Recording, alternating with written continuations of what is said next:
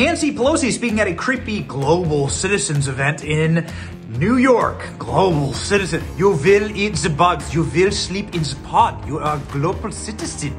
Yes, okay, so Nancy Pelosi getting her creepy Klaus Schwab on, but the people weren't buying it. The crowd of leftists in the middle of New York City, the most democratic city in the world, they booed Nancy Pelosi. Watch. I couldn't talk about As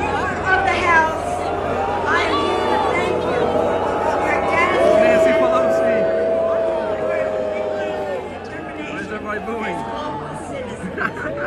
Pretty humiliating for Nancy. Maybe this audience is against insider trading. They're very close to Wall Street, or perhaps they're all drunk driving survivors because they've been on the road at the same time as Nancy's husband, Paul Pelosi.